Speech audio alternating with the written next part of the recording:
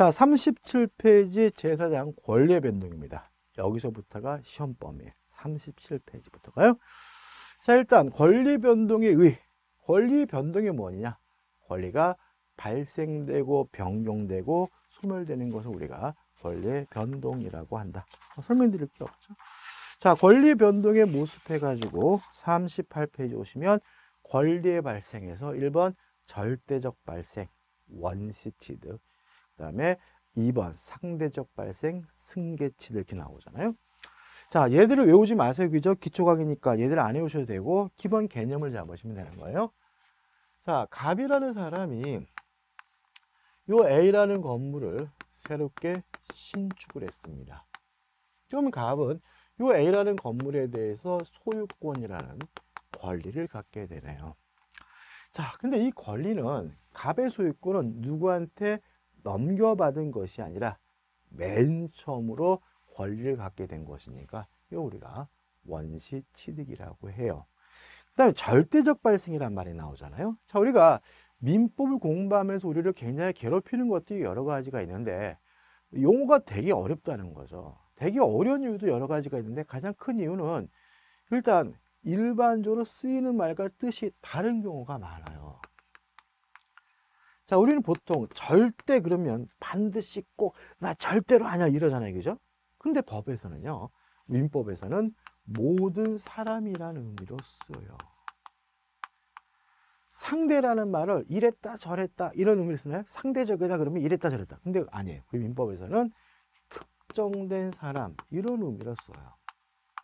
그래서 앞으로 여러분들이 절대 나오면 반드시가 아니라 모든 사람 상대라는 말이 나오면 뭐죠? 특정된 사람 이렇게 이해하셔야 돼요. 그래서 절대적 무효 모든 사람에게 무효 상대적 무효 특정된 사람에게 무효 이렇게 되는 거예요. 그러면 절대적 발생이라는 말은 뭐예요? 모든 사람들이 봤을 때 새롭게 권리가 생겼다는 거죠. 자, 갑이 건물을 신축하게 되면 갑의 입장에서 뿐만 아니라 A 건물에 관한 소유권 요 권리는 세상 모든 사람들이 봤을 때 없던 권리가 생긴 것이니까 이거 우리가 절대적 발생이라고 하고요. 또 갑이라는 주체를 기준으로 하면 누구한테 넘겨받은 것이 아니라 맨 처음으로 소유권을 갖게 된 것이니까 뭐가 되는 거죠? 원시 취득이 되는 거죠. 근데 갑이 이 건물에 대해서 을과 만나서 매매 계약을 하고요.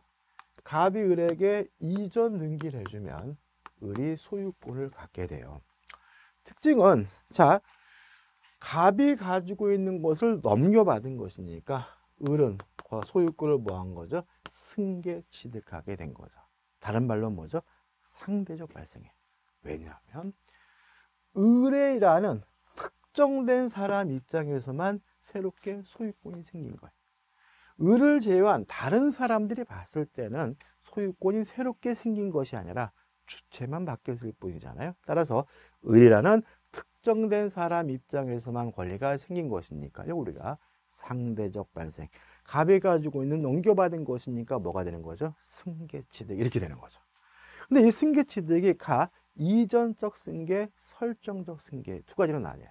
자, 보시면.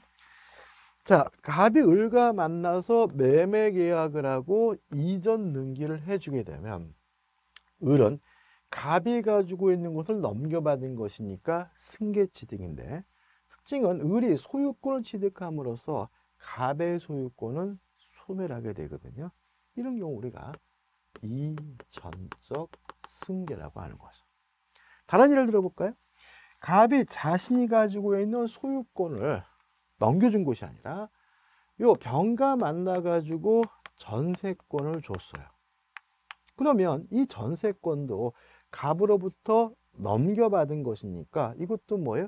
승계취득인데 특징은 병이 갑으로부터 전세권이라는 권리를 넘겨받는다고 해서 갑의 권리가 소멸되진 않잖아요. 이런 거 우리가 설정적 승계라고 하는 거죠. 다시 말하면 권리를 넘겨받음으로써 구권리자의 권리가 소멸된다면 그 우리가 이전적 승계라고 하고요. 권리를 넘겨받았는데도 불구하고 구권리자의 권리가 소멸되지 않고 남아 있다면 우리가 설정적 승계라고 하는 거죠. 골치 아프신가요? 골치 아픈 거 하나도 없어요. 자, 우리는 우리가 언어 습관적으로 구별해서 쓰거든요. 저당권을 설정해 줬다고 하지 이전해 줬다고는 안 해요. 왜냐하면 내가 그 사람에게 저당권을 주더라도 내 소유권은 소멸되지 않으니까요.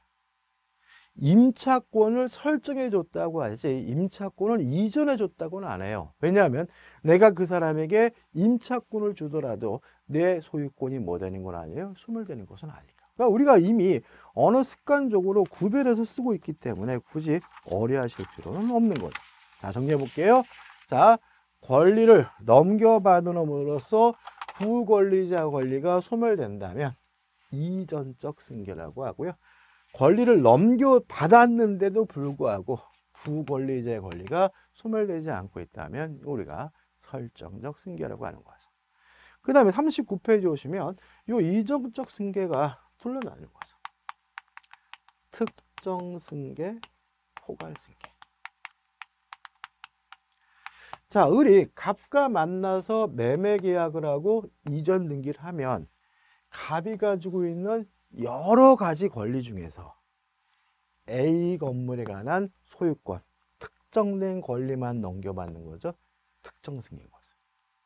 근데 만약에 갑에서 을로 상속이 이루어졌어요. 상속이 이루어지게 되면 갑에 가지고 있던 A 건물에 관한 소유권뿐만 아니라 나머지 모든 권리, 뭐 이쑤시개에 대한 소유권도, 그죠? 어, 뭐 손톱깎이에 대한 소유권은 다 넘어오잖아요. 이렇게 그 주체가 가지고 있는 모든 권리가 한꺼번에 넘어오는 것을 우리가 포괄승계라고 하고요. 대표적인 상속인 거죠. 물론 특정 승계든 포괄승계든 뭐입니까? 이전적 승계 예인 거예요. 자, 그럼 39페이지 대표예제를 풀 수가 있어요. 대표예제. 물건의 승계 취득에 해당하는 것은 2번 상속에 의한 소유권 취득이죠. 왜요? 상속은 포괄 승계고 이전적 승계니까요. 그러니까 승계 취득의 하나인 거잖아요. 답은 뭐예요? 3번이에요. 그럼 나머 아 2번이 그죠? 나머지 것들은 모를 말이 많네요. 그죠? 뭐 우리가 하나씩 해결할 것이니까 일단은 몰라도 돼요. 그죠? 그다음에 2번에서 뭐가 나옵니까? 권리의 변경이 나오죠. 첫째, 주체 변경. 말 그대로 주체 변경인데 주체 변경은 이전적 승계와 같은 것이다. 동의하시나요, 여러분들? 자, 보시면 갑이 을과 만나서 매매 계약을 하고 이전 등기를 하면 갑의 권리는 소멸되고 우리 갑으로부터 소유권을 넘겨받으니까 이전적 승계인데 결과적으로 소유권의 주체가 갑에서 을로 바뀌는 거죠. 따라서 이전적 승계는 결국은 뭐가 바뀌는 거예요? 주체가 바뀌는 거죠. 권리의 주체가 바뀌는 거죠. 따라서 주체 변경은 이전적 승계와 같은 거죠. 그냥 내용의 변경이죠. 좀 적어볼게요. 자, 내용의 변경이 둘로 나뉩니다. 질적 변경이라는 것과 양적 변경이라는 것으로 나뉘어요. 이것과 구별해야 될 것은 뭐냐면 작용의 변경입니다. 이 부분을 처음에 이제 공부하시게 되면 뭔 소린가 싶어서 좀 어려워하시게 되는데 자, 여기서 정리해 보죠. 자, 질적 변경이라는 것은 권리 자체가 다른 권리로 바뀌는 것을 말합니다. 양적 변경이라는 것은 권리 자체는 바뀌지 않고요. 권리자로서 할 수 있는 일에 양이 바뀌는 것을 우리가 양적 변경이라고 합니다. 작용의 변경은 권리도 안 바뀌고 양도 바뀌지 않고요. 작용만 바뀌는 것을 우리가 작용의 변경이라고 합니다. 감 잡히시나요? 자, 어렵지 않습니다, 여러분들. 얘도 거 생각하시면 돼요. 자, 여러분들 권리가 변경됐다라는 말을 들으시면 언뜻 떠오르는 게 뭐예요? 아, 권리가 다른 권리로 뒤바뀌는구나. 이게 뭐라고요? 질적 변경. 교전이 얘가 좀 어려운 게 나오는데 기초강의 쉬운 예를 들게요. 제가 원래 아파트에 살고 있는데 저의 권리는 임차권이었어요. 근데 제가 열심히 저축을 하고 돈을 모아서 그 아파트를 제가 사서 소유권을 취득했어요. 그럼 저는 원래 가지고 있던 권리가 뭐였어요? 임차권이었는데 뭐로 바뀌었습니까? 소유권으로 바뀌었죠. 권리 자체가 다른 권리로 바뀌었죠. 이런 거 우리가 질적 변경이라고 해요. 양적 변경. 권리는 그대로지만 양이 바뀌는 거. 권리자로서 할 수 있는 일에 양이 바뀌는 거 우리가 질적 양적 변경이라고 해요. 자, 보세요. 갑이라는 사람이 A 건물에 대해서 소유권이 있어요. 그럼 이 사람은 그 건물을 뭐 할 수 있냐면 사용할 수 있고 수익할 수 있고 처분할 수가 있는 거죠. 근데 갑이 병에게 전세권을 설정해 줬어요.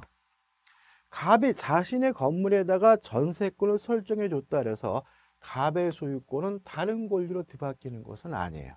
다시 말하면 권리 자체는 그대로인 거죠. 여전히 소유권인 거죠. 다만 이제 이 건물을 사용하고 수익해야 될 사람은 갑이 아니라 병이기 때문에 갑은 더 이상 사용할 수 없고 수익할 수가 없는 거죠. 할 수 있는 일의 양이 뭐 하고 있는 거죠? 줄어들고 있는 거죠. 이런 거 우리가 뭐죠? 양적 변경이라고 한다. 다시 말하면 양적 변경이란 소유권자가 자신의 물건에다가 전세권과 같은 제한 물권을 설정하는 것처럼 권리 자체는 그대로 소유권이지만 할 수 있는 일의 양이 변경되는 것을 우리가 양적 변경이라고 하는 거죠. 그러면 이제 작용의 변경이에요. 자, 권리도 그대로고 양도 그대로인데 뭐만 바뀌었습니까? 작용만 바뀐 거잖아요. 그럼 이 작용이란 말이 뭐예요, 여러분들? 힘입니다, 힘. 파워. 한자로 쓰면 힘력자가 되는 거죠. 다시 말하면 권리도 그대로고 양도 그대로인데 힘, 파워가 바뀌는 걸 우리가 작용의 변경이라고 해요. 두 가지 예를 들 수가 있어요. 자, 1순위가 갑 앞으로 저당권이 설정이 되어 있고요. 그 부동산에. 2순위가 을 앞으로 뭐가요? 저당권이 설정되어 있는 상태예요.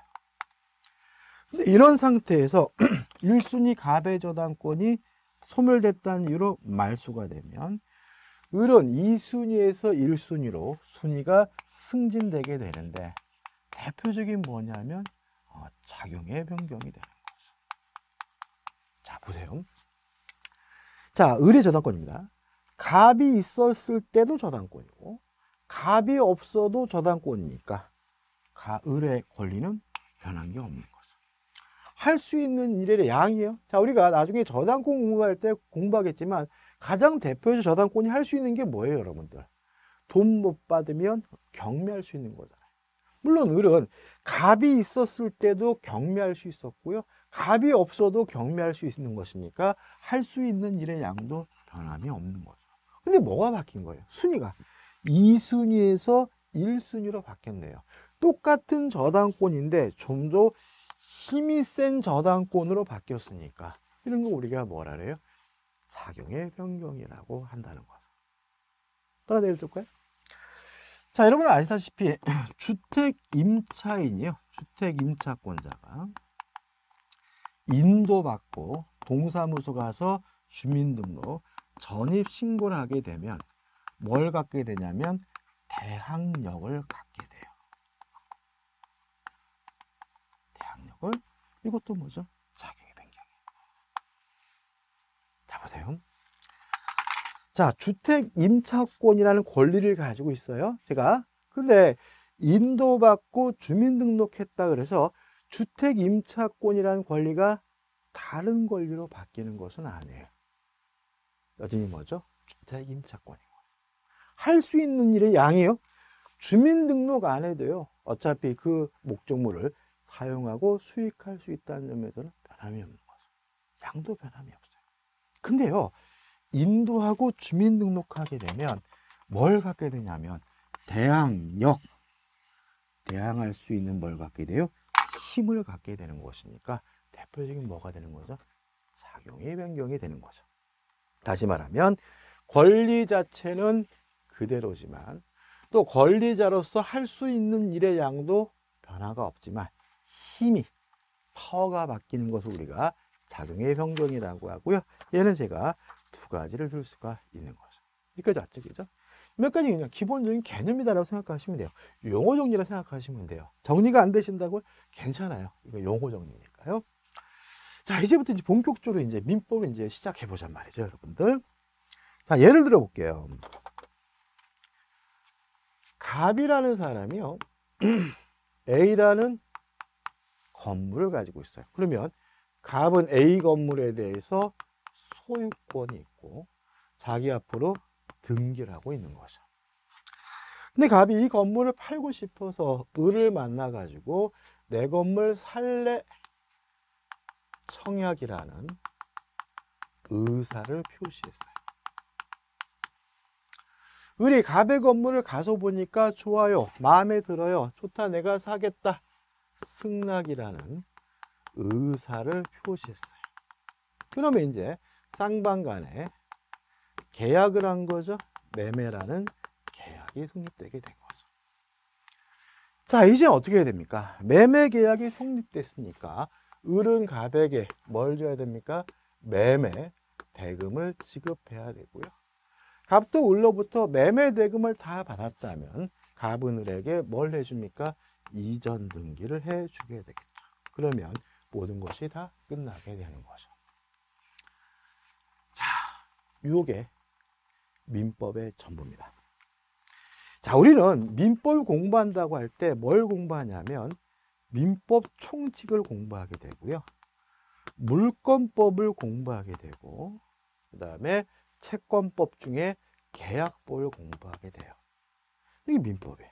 그 다음에 민사특별법 해가지고 뭐 주택 임대차 뭐법 상가 건물 임대차 뭐 이런 거 나중에 또 배우겠지. 이건 별개 문제. 시험 문제는 올해 어떻게 나왔냐? 2021년도 어떻게 나왔냐면 민법 총칙이 10문제, 물권법이 14문제, 계약법이 10문제, 민사특별법이 6문제에서 총 40문제가 출제가 됐어요. 자, 그럼 이게 왜 이걸 적었냐면은 우리는 민법 총칙을 공부할 때 주로 뭘 공부할 거냐면요. 요 의사표시라는 것을 주로 공부해요. 의사표시. 그래서 저하고 여러분하고 의사표시, 의사표시 막 떠들다가 뭐가 끝나냐면 민법 총칙이라는 게 끝나요. 열문에 나오죠. 그다음 물권법 시간에 뭘 공부하냐면 소유권이다, 등기다, 이전 등기다, 소유권이다, 지상권이다, 저당권이다. 이렇게 하게 되면 뭐가 끝나요? 물권법이 끝나요. 14문제. 그다음 계약법 가서 뭐 하냐면요. 청약이다, 승낙이다, 계약이다, 매매다, 임대차다 하게 되면 뭐가 끝나게 돼요? 계약법이 끝나는 거예요. 그래서 우리가 민법이라는 것은 결국은 민법 총칙부터 시작해 가지고 계약법까지 공부한다는 것은 요 하나의 거래를 완성하는 거예요. 그래서 공부할 때 주의할 점이 있어요. 뭘 주의할 점이 있냐면 우리가 예를 들어서 민법 총칙을 열심히 공부했어요. 그래서 나는 민법 총칙에 나오는 건 다 맞출 것 같아. 근데 못 맞춰. 왜요? 하나의 거래의 일부만을 공부한 거니까. 그래서 민법은 죽이 되든 밥이 되든 끝까지 다 가야 돼. 끝까지 다 가서 하나의 거래가 완성이 돼야 결국은 문제가 풀리는 거야. 그러니까 예를 들어서 우리가 다른 과목 같은 경우는 한 단원을 해서 그 단원만 열심히 공부하게 되면 그 단원에 나오는 문제를 맞출 수가 있는데 민법은 어떤 단원을 열심히 한다 그래서 그 문제가 맞춰지지 않는다는 거예요. 왜요? 하나의 거래를 민법은 완성하는 과정이기 때문에 결국은 한 단어를 공부한다는 것은 일부만을 공부한다는 것이고 다른 부분이 안 돼 있다는 문제를 해결할 수 없다는 그런 것이 있다는 거죠. 그래서 민법은 시작을 하시면 끝까지 가야 돼요. 어떻게? 끝까지 다 가야 돼. 끝까지 다 갔다가 돌아야 돼. 이런 부분 참 많습니다. 맨날 앞에 민법 총칙만 공부해. 좀 물권법 반 정도 보고 맨날 앞에 가려면 공부하다가 뒷부분은 안 보고 대충 보고 아이고 민법 어렵다 이러거든요. 그러니까 그러지 마시고요. 죽이 되든 밥이 되든 시작했으면 어떻게 끝까지 다 가야 된다. 끝까지 다 갔다가 돌아야 된다. 왜요?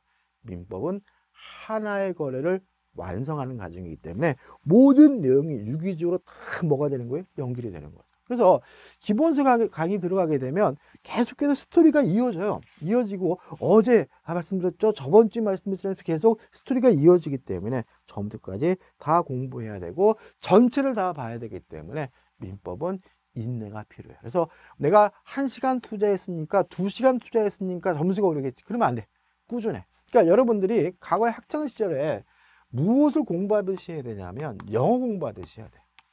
그러니까 우리가 뭐, 뭐 국사다, 뭐 물리다, 뭐 이런 것들은 몰아서 해도 돼요. 근데 민법은 몰아서 한다 그래서 성적이 안 올라요. 민법은 마치 학창시절에 영어 공부하듯이 매일매일 조금씩, 조금씩 급하게 서두르지 말고 조금씩 조금씩 매일매일 그냥 단 10분이라도 꼭 보면서 하루가 지나가야지만 민법 실력 향상해. 이유는 모든 스토리가 다 연결되어 있기 때문에 그래요.